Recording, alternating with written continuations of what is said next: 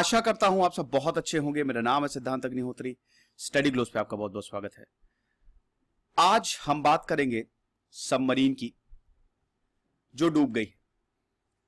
The Hindu का ये article है। कल ये खबर छपी थी। और मैंने सोचा अभी थोड़ा इसको रुक के बनाता हूँ। मैंने इस पर वीडियो नहीं बनाया।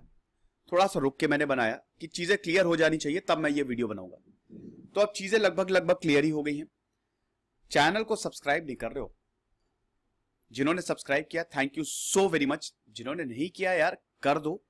50 टू 60 परसेंट लोग सब्सक्राइब नहीं करते, ऐसा मत करो। बेल आइकन दबाओ सब्सक्राइब का बटन क्लिक करो।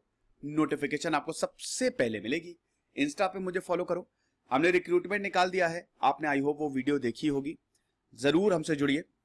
टेलीग्राम पे मुझे फॉलो करो। और अब ऐसा है कि मैं बोलो सॉरी खबरी ऐप पे आ गया हूँ। खबरी ऐप पे आ गया हूँ तो उसका भी लिंक मैं आपको डिस्क्रिप्शन बॉक्स में दे दे रहा हूँ। तो ज़रूर उसे फॉलो करिएगा। हर चैनल तो फॉलो करते हैं, अब खबरी ऐप पे क्यों है इसलिए क्योंकि वहाँ पे मैं शॉर्ट ऑडियोज बनाता हूँ।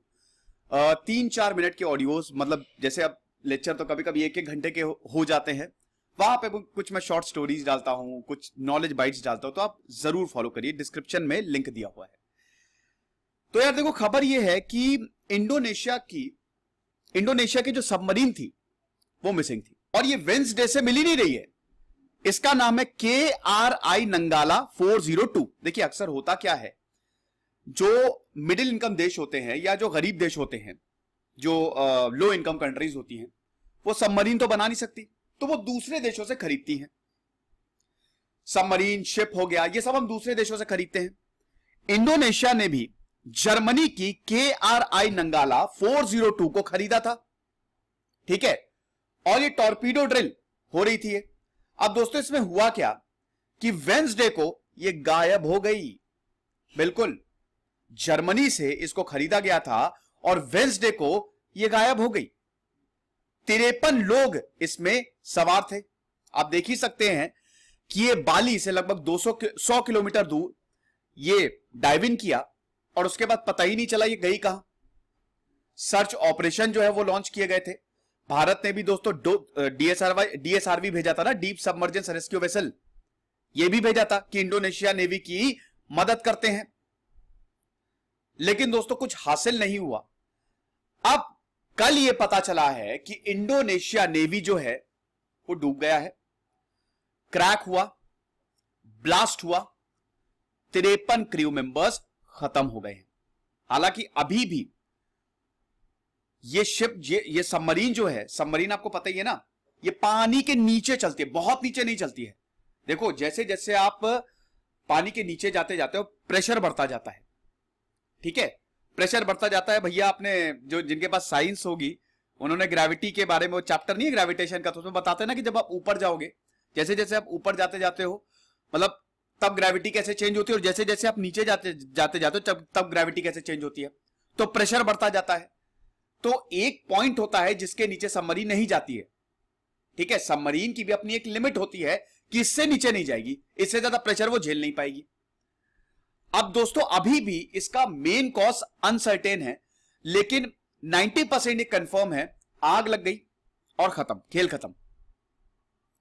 Military chief Hadi Hadi Tjahjanto ने बोला है कि यहाँ हमको ऑयल स्लिक मिला है और टुकड़े मिले हैं नियर दी साइट जहाँ पे सबमरीन आखिरी बार देखी गई थी वहाँ पे हमको तेल जो है वो फैला हुआ मिला है और टुकड़े मिले हैं। इसका मतलब यही है कि लीकेज हुई और ब्लास्ट हुआ। मिशन सबमरीन लॉन्च किया गया था वेंसडे से ही। लगातार इसकी खोज की जा, जा रही है। अमेरिका सिंगापुर जर्मनी हर कोई इसकी खोज कर रहा है। इंडोनेशिया भारत। और अब दोस्तों ये सामने आया है। अब आप देख सकते हैं कि नेवी चीफ यूडो मार्गोनो ने बोला है कि अगर ये एक्सप्लोजन है तो it will be in pieces भाई, अगर ब्लास्ट हुआ है तो चिथड़े इधर उधर जाएँगे ना। लेकिन क्रैक्स यहाँ पे कुछ पार्ट में हुआ। जब ये नीचे गया 300 मीटर 400 मीटर 500 मीटर, तब क्रैक्स प्रेशर बढ़ा और क्रैक्स एक्सपोज होगा वैसे भी दोस्तों, ये बहुत पुरानी सबमरीन है। 1978 में जर्मनी ने इसको बनाया था। इतनी पुरानी चीज़ों को, हालाँकि इस बाद में मरम्मत की जाती है, लेकिन दोस्तों, इतनी पुरानी चीज़ ज़्यादा टाइम तक चलती नहीं है। और यहाँ पे ये भी बोल रहे हैं कि अगर कोई एक्सप्लोजन होता तो सोनार साउंड वेव्स को यूज़ करता ना सोनार तो वो तो वहाँ तक तो आवाज़ पहुँचती। तो अब यहाँ पे जो तिरपन क्रू थे, देखिए ऑक्सीजन खाली बहत्तर घंटे की बची थी। और यहाँ पे ऑफिशियल्स ने यही बोला है कि, देखिए वेंसडे को यह हादसा हुआ सैटरडे को यह बताया गया कि मतलब कल ही यह बताया गया कि आग लग गई है, क्योंकि टॉर्पीडो के मतलब टॉर्पीडो को जो प्रोटेक्ट करता था डिवाइस उसके पीसेस मिले हैं। और जैसा कि मैंने बताया कि अभी नेवी ये मान रही थी, पहले, कि ये बहुत नीचे चला गया 600 से 700 मीटर नीचे चला गया, जो इसकी वजह बनी डूबने की। प्रेशर हद से ज़्यादा बढ़ गया। अब ऑफिशियल्स का, अब कल ये बोलना है कि प्रेशर की वजह से ब्लास्ट हुआ, क्योंकि हमको पीसेस मिले हैं। जो जो डिवाइस टॉर्पीडो को प्रोटेक्ट करता था, उसके भी पीसेस मिले हैं। और ऑक्सीजन सप्लाई भी तिरपन क्रू मेंबर्स की चली गई। दैट मीन्स तिरपन के तिरपन लोग मर गए। स्कैन जब हुआ तो यह पता चला कि सबमरीन जो है, वो 850 मीटर 2788 फीट नीचे है। Well beyond its survivable limit 500 meter से नीचे नहीं जा सकती, लेकिन ये 800 मीटर है। 800 मीटर चली गई। गया हो गया काम खत्म। हालाँकि नेवी अभी भी बोल रही है कि शायद जैसा कि ये नेवी चीफ यूडो मार्गोनो को मार्गोनो बता रहे हैं कि ऐसा नहीं हुआ होगा। अभी भी देखिए, पूरी तरीके से हम सर्टेन नहीं हो सकते, लेकिन अब मैक्स मतलब 90 परसेंट यही हुआ है। एक्सप्लोजन हुआ। बहुत नीचे गई एक्सप्लोजन हुआ प्रेशर झेल नहीं पाया और सबमरीन खत्म। अभी कुछ भी सर्टेन नहीं है। इंपॉर्टेंट थिंग ये है कि हम बिल्कुल प्रे करना नहीं छोड़ेंगे। और हम तो अभी भी ये मान के चल रहे हैं कि हर कोई ज़िंदा होगा। तो यही चीज़ है और इंडोनेशिया के जो प्रेसिडेंट है, जोको विडोडो, उन्होंने सब कुछ इसमें लगा दिया है। और ये बोला है कि सारे इंडोनेशियंस दुआ करें कि क्रू वापस आ जाए। तिरपन लोग हैं ना, बहुत बड़ा आंकड़ा है। और वही है कि डिसअपीरेंस का कॉज अभी भी अनसर्टेन है। बट खोज खबर चल रही है। और जैसा कि मैंने बताया कि ये डीजल सबमरीन थी जिसको जर्मनी ने बनाया था। 1981 से ये एक्टिव है। अमेरिका में भी ने भी अपना प्लेन भेजा है, P eight Poseidon reconnaissance plane है ये इनका। और ये सैटरडे को आया। इसने भी रिसर्च जो है, वो शुरू की। फिर बाकी 20 इंडोनेशियन शिप लगे हुए हैं लगातार। ऑस्ट्रेलियन वॉरशिप, फिर इंडिया का डीएसआरवी और उसके बाद सिंगापुर का, मलेशिया का। मतलब आप समझ लीजिए कि पूरी दुनिया इस सबमरीन को खोजने में लगी हुई है। और एक दो दिन में सब कुछ क्लियर हो जाएगा। और यहाँ पे ये भी एक बड़ा, एक इमोशनल स्टेटमेंट आया है कि मैं यही प्रार्थना करता हूँ कि मेरे जो भाई हैं, वो सेफ़ रहें।